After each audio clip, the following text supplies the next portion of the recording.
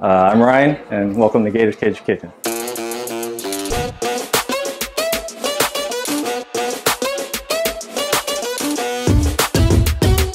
I'm from California, Los Angeles, California, and I came to Japan in 2004.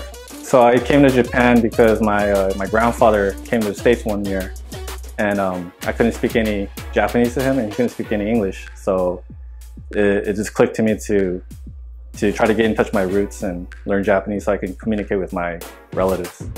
So this is a Cajun specialty restaurant. Um, and we have jambalaya, gumbo, po' boys, etouffee, uh, pretty much the main Cajun dishes that you can think of.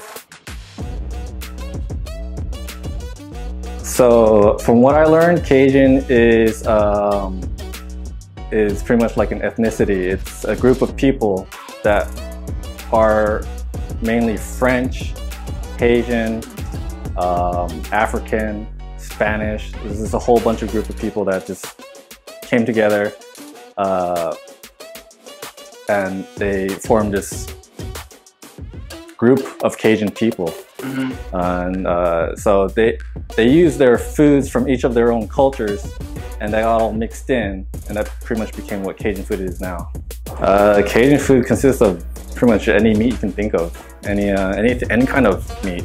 Um, a lot of different vegetables, uh, mainly celery, onions, and green peppers, also known as the Holy Trinity. Cajun food could be super spicy in a different household, it could be really mild in another one. Uh, just depends on the person who's making it. Uh, alligator is on the menu. It's actually crocodile, and it's from Australia. Uh, seasoned well, and it's similar to chicken or pork in a way. Yeah, it's pretty good. Nice. A lot of people like to try it. I wanted to open up a restaurant in the beginning, and uh, at first I wanted to do the Mexican food, being from California, but it, it didn't really work out. My friend from Mississippi uh, convinced me in a way to do Cajun food. Um, so it was pretty much his uh, influence that helped make this restaurant come to be as it is now. Uh, yeah, jazz originated in, uh, in Louisiana, New Orleans.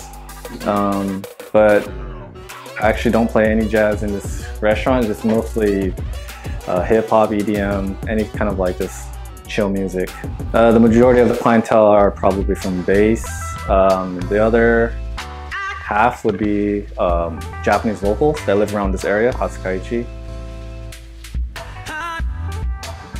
I would say the most popular dish is probably the po' boy, which is a sandwich like kind of like Subway. It's in a French baguette, and uh, you can put any kind of meat in there: fish, chicken. There's alligator, shrimp, oysters.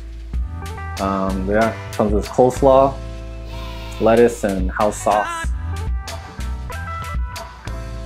Uh, so if you're coming by Miyajima, um, you can make a trip here before or after, uh, get some Cajun food. Um, I'm pretty sure you'll like it.